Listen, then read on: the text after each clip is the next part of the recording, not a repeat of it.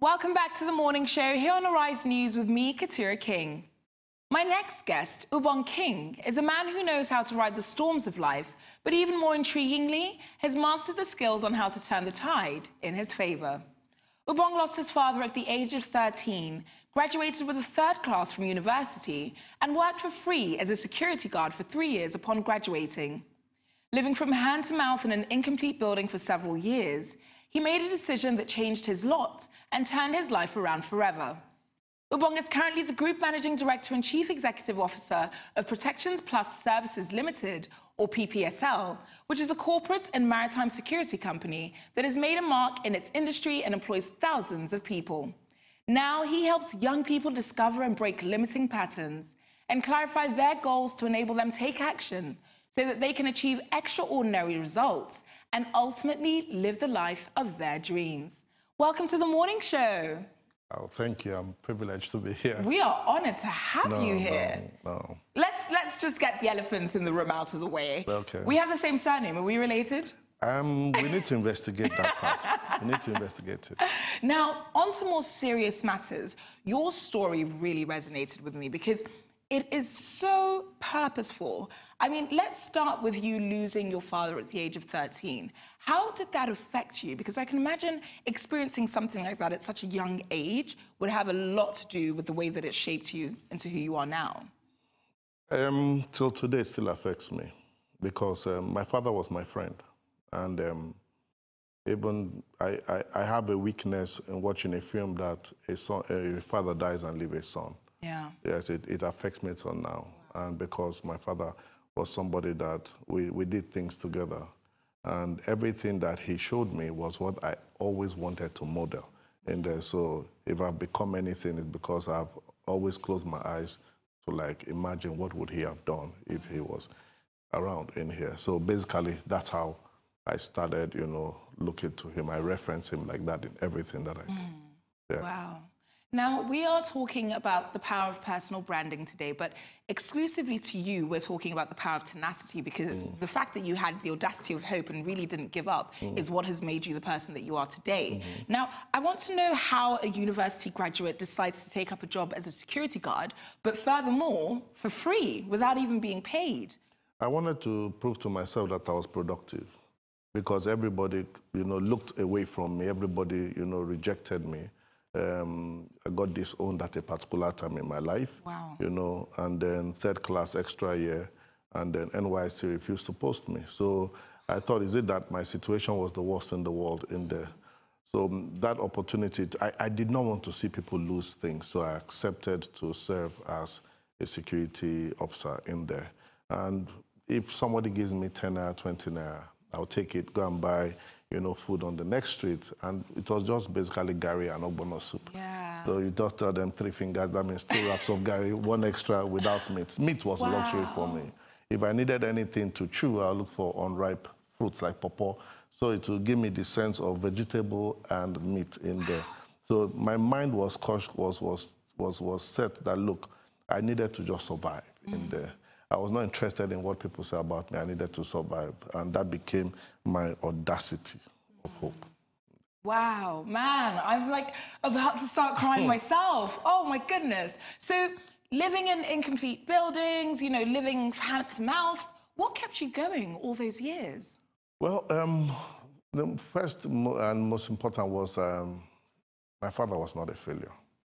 He only died prematurely. So, and I know that, you know, um, a, a, tree will always give birth to its own. So I, I know that I will make it, but how I was not sure in there. That's for one. Secondly, is that um, I was able to encounter, you know, faith in God's word in there. So I believed it to a fault. In as much as anybody said anything, that was not my business. In there, I wanted to just survive and succeed. My mom, you know, we lived in a house whereby we moved from a three-bedroom flat to a room and a parlor in there. And I would see the landlord come because of 50,000 naira. My mom can come back home. My mom walk on the street, her dress would tear. I said, no, this is not what I want to see. I needed to be a man enough to take care of my mother. So that, uh, that determination, that aggression, what do I know? What is my passion? What is my interest? I knew my interest was protecting people. I didn't want to see people lose their fathers or lose right. their property. So that made me go to places like Oshodi and um, um, CMS to buy, you know, magazines in there and uh, on security. And I kept reading it and reading it. And I tell people that whatever you eat and you continually eat will eventually eat you up. Yeah. So that is how security now became part of my my passion. Yeah. Wow. So talk to me about the decision that you made that you would say drastically turned the tide of your life? What was that one definitive moment? When everybody pulls you away, you don't have anything left. One particular song, you know, changed the course in my life, and that was I Believe I Can Fly by R. Kelly. Wow. Yes, that song since 1997 um, pushed me, pushed my mind because if I could only see it, I could become it. So whatever I could envisage, all I need to do is look at it hard enough and then I will become whatever I want to do. Yeah. And it pushed me to doing it.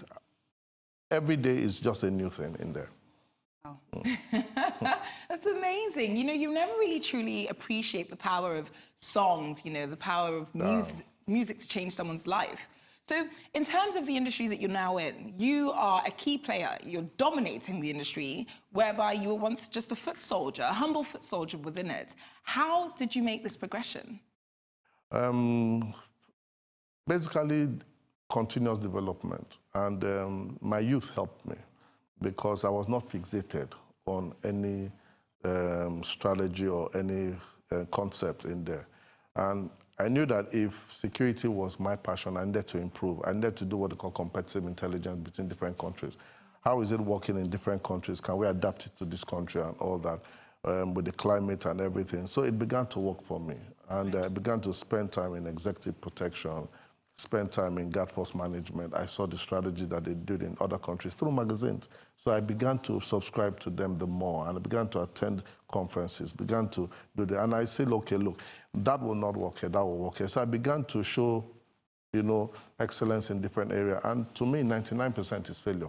It's either 100% or forget it. I don't give excuses in there. It's either I get it or forget it in there. So, and I don't take excuses at all. I don't take excuses. If I'm meant to be there till 10, mid, till 10 o'clock, I will be there. Yeah. If I'm to be there by 6, by 6, I will be there. I don't give excuses yeah. for failure. I don't take it in there. So that continuous build, you know, kept growing me and growing me. And into the security area, I was used to doing very um, I, served under leadership that were very aggressive in there. So to make them happy, you have to do whatever they did. I did not know that it was toughening me up on all sides. Yeah. I, I, became attracted to very serious matters in them.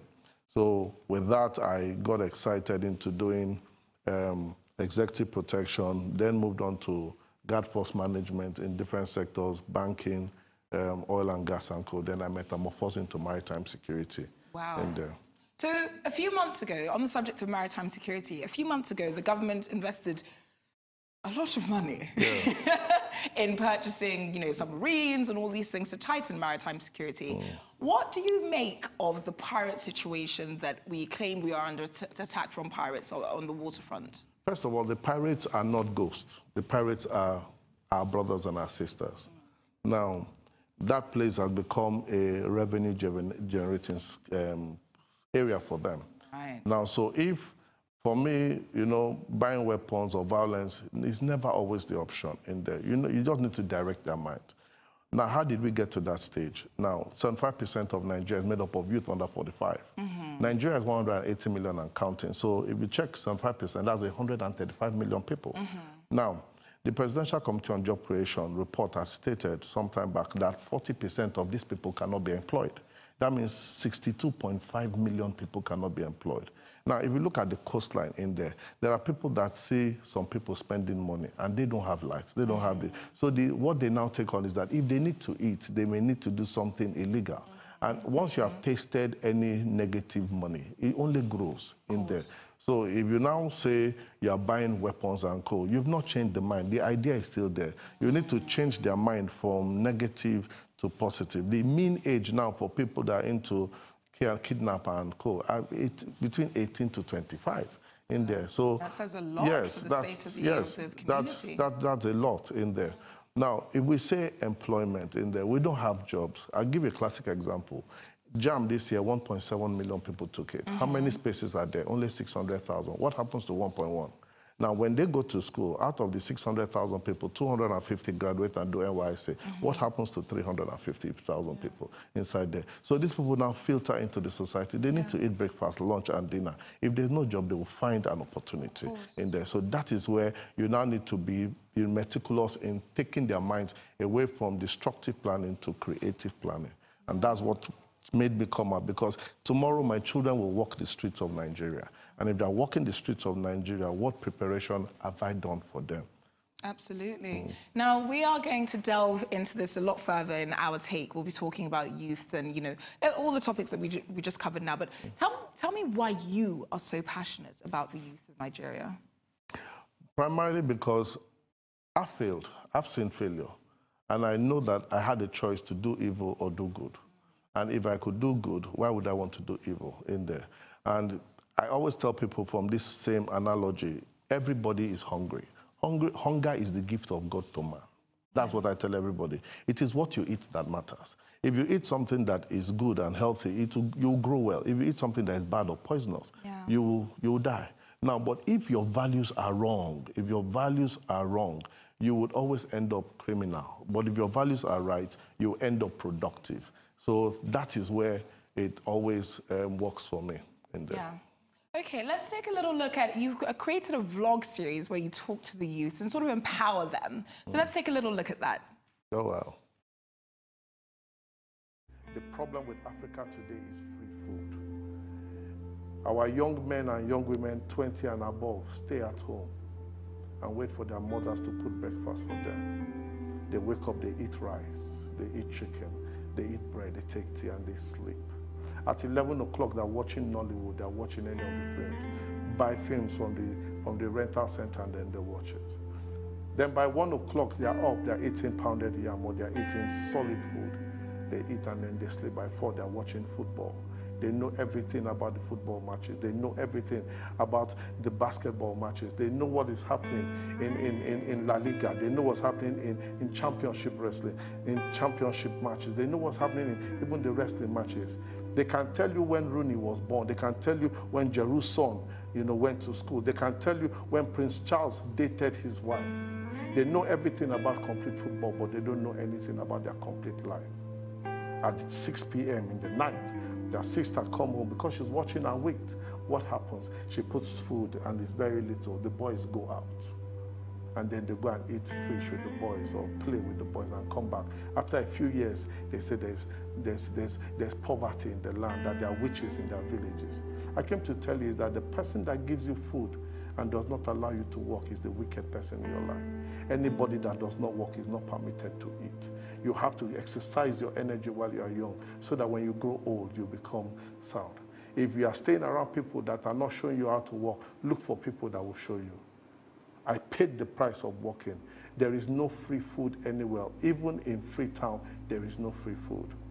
If you want the price, you should be ready to pay the price. Free food is the enemy of success. Don't take anything for free. For free. Pay the price to, to get results for your life. I don't know why you're sitting there. Wow. Inspirational stuff. You might just be the most inspirational no, person I've met no, this week. No, no, no. Honestly speaking, I mean, from where you started to where you got into it, it just it begs belief. I, it's amazing. All praise to you. no, no, no, no. For, for me, um, it's tomorrow that is more important than today. The world is, the number of, of people are growing. There are more people on the earth than there were a few years back. The demand for success is crazy. I have certain figures that I keep before me. Interestingly, um, in 1804, 1 billion people now in 2011, I mean 2017, there, there are 7 billion people. So land space per month is 7 to 1 in there. It's growing. So we need to get people more creative and productive. Otherwise, Absolutely. we'll start eating each other. Definitely. And we are going to delve uh, into this in, in, more depth in our take. But for those of our viewers that want to keep up to date with you via social media, how can they do that? Just at ubongking.com. Nice and simple. You're not like me. I've got a million different social No. media names all over the place. That's at. Thank you so much for Thank joining me this morning, Ubong. that is all from security expert Ubong King for now, as it's time for a short break on the morning show. Stay tuned because when we return, it's time for our take. Don't go away.